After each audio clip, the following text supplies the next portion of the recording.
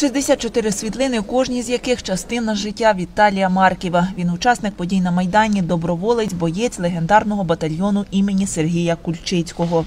Брав участь у боях в Слов'янську, Попасній, Вуглегірську. Під час поїздки до Італії його ув'язнили та висунули звинувачення у нібито вбивстві італійського фотографа. Віталія засудили, згодом виправдали. За сприянням керівництва нашої держави він був звільнений і 4 листопада 2020 року прибув на свою батьківщину в Україну. Тому зараз ми демонструємо дані світлини і всі бажаючі можуть з ними ознайомитися. Світлини подорожуватимуть країною. Фотографії нацгвардійця демонструють, наскільки непросте та насичене життя пережив військовослужбовець за 31 рік. Така акція зараз проводиться по всій Україні. Проводиться от зараз у нас в місті Хмельницькому. Наша військова частина це організовує ну, спільно з представниками поліції. Е, З понеділка вона буде проводитися в місті Кам'янці-Подільському і так далі буде йти по Україні.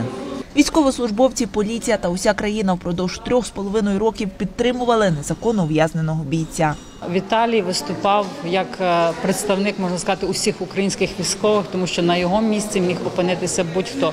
І для нас було дуже важливо його підтримати. Наші працівники підтримували Віталія Маркова під час судового процесу, і ми хотіли їм показати моменти з його життя, тому що тут, в принципі, світлини не є професійні, це світлини, які надали його друзі з його особистого архіву. Після обласного центру світлини Віталія Марківа поїдуть до Кам'янець-Подільського.